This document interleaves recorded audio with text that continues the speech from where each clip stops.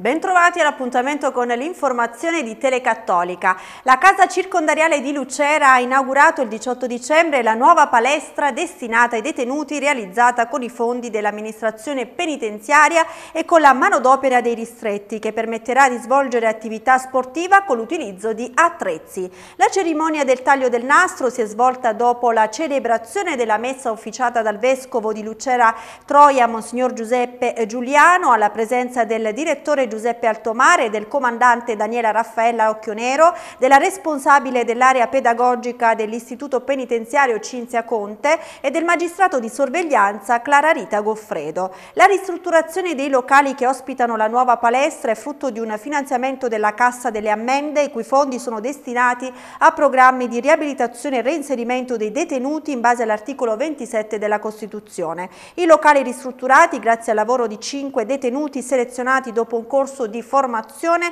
sono stati attrezzati con la consulenza del volontario referente per le attività sportive Luigi Talienti. I corsi per i detenuti saranno coordinati dal CONI e eh, tenuti da due istruttori federati.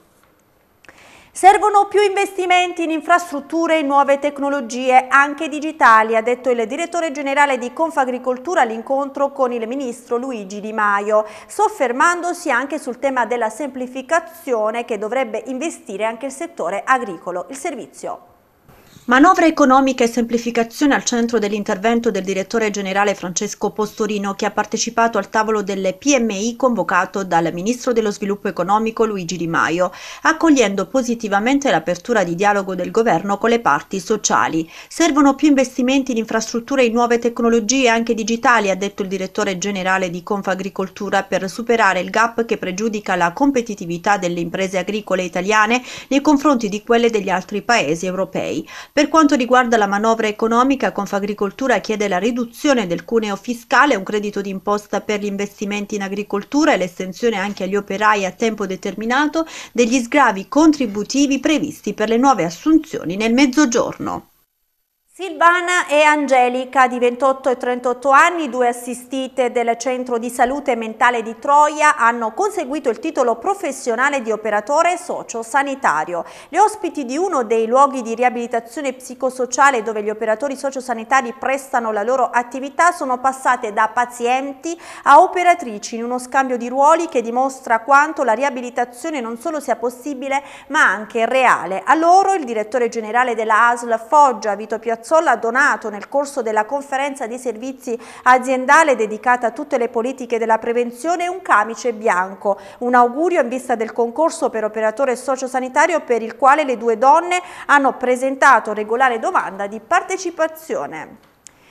Nella conferenza stampa di fine anno, Carla Costantino, segretario generale della CISL di Foggia, lancia le proposte per l'intero territorio. Ascoltiamo. I cittadini io credo vogliano trovare innanzitutto tanta serenità, ma soprattutto il il problema dei problemi di questo territorio, ma io credo anche dell'intero Paese, è il lavoro. Noi dobbiamo necessariamente mettere in atto tutto quello che sono le nostre capacità, il nostro impegno per aiutare questo territorio a dare dignità perché non è solo il sindacato, non è solo la CISL che dice che è il lavoro che dà dignità alle persone, lo dice anche il nostro Santo Padre, l'ha ripetuto più volte, quindi questo potrebbe essere un regalo importante che la CISL vuole eh, consegnare a questo territorio. In questo tema eh, l'aspetto importante del contrasto al lavoro nero, alla irregolarità, allo sfruttamento per noi è un tema fondamentale perché proprio realizzando buone prassi e dando importanza all'etica del lavoro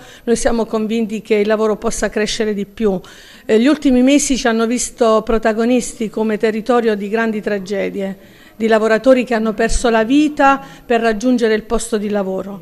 Non possiamo attenzionare questo problema solo nelle emergenze quindi attiene alla nostra responsabilità far sì che questo tema ci riguardi tutto l'anno, 365 giorni all'anno, con grande serietà, dico io, e con grande collaborazione perché è il tempo delle alleanze. I soggetti che hanno voglia di dare un contributo insieme dobbiamo lavorare per questo. Per esempio è importante mm, l'esperienza del lavoro agricolo, della rete del lavoro agricolo di qualità, dove noi auspichiamo che anche le organizzazioni datoriali facciano eh, una sensibilizzazione alle loro aziende ad aderire a questa nostra, diciamo, questa innovazione su questo territorio, perché è fondamentale. E poi dobbiamo necessariamente creare le condizioni affinché questo non accada più. Abbiamo chiesto al Ministro Di Maio, in occasione della sua visita qui in Prefettura a Foggia, la CISL ha chiesto l'istituzione di un tavolo interministeriale sul tema del caporalato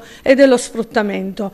Lui siamo stato anche disponibili a dire la verità, però ad oggi, a tre mesi dalla sua visita, non abbiamo ancora ricevuto grandi risposte. Quindi se è vero che questo territorio è sensibile, si è mobilitato nell'affrontare quel problema, però abbiamo bisogno delle istituzioni, quindi delle risposte chiare che mettono in campo anche norme che ci possono aiutare. E poi c'è l'altro problema delle sacche di povertà di questo territorio e per povertà intendo la povertà in senso lato. Sono tanti i problemi che attanagliano le famiglie, eh, gli anziani, i giovani.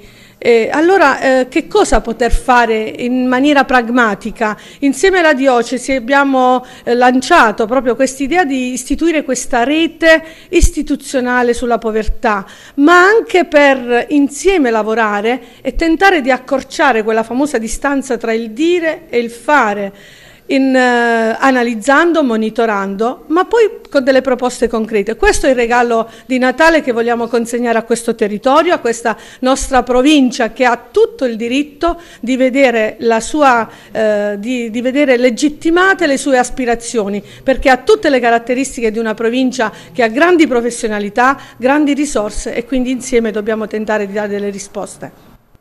Continuano gli eventi di WhatsApp, progetto che ha messo in primo piano il mondo degli agricoltori con incontri e momenti di condivisione tra gli appuntamenti, serie di filiere. Sentiamo. Serie di filiere è il titolo dell'evento in due tappe con cui Vazappa ha dato seguito e messo a frutto il lavoro fatto con le contadiner. Negli ultimi due anni l'Hub Rurale Foggiano ha incontrato circa 400 agricoltori, un percorso quello delle cene contadine fatto di condivisione, infatti ha analizzato quali sono le problematiche più comuni ai contadini del territorio e grazie alla possibilità offerta da Ismea, l'Istituto di Servizi per il Mercato Agricolo Alimentare, li ha chiamati a raccolta ad Orsara di Puglia, Villa Iamele per il primo primo appuntamento dedicato ad approfondire la conoscenza dei contratti di rete.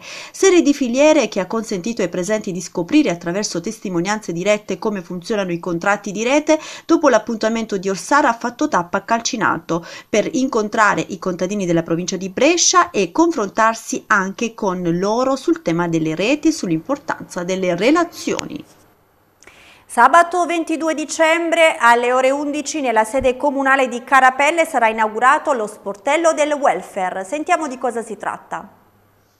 A Carapelle tra pochi giorni sarà inaugurato lo sportello del welfare. Si tratta di una sorta di info point per portare a conoscenza la cittadinanza e tenerla informata sui servizi sociali e sociosanitari attivi in paese nell'ambito territoriale. Verranno messe a disposizione dei cittadini, ha detto il sindaco di Carapelle Umberto Di Michele, tutte le informazioni sulla rete dei servizi, delle strutture e degli interventi attivi sul territorio. Si tratta in pratica di uno sportello aperto al pubblico che garantisce ai cittadini accoglienza informazione sui servizi attivi, ascolto per indirizzare il cittadino all'ufficio o al servizio che meglio risponde alle sue esigenze, supporto e orientamento verso i servizi professionali di competenza per la presa in carico.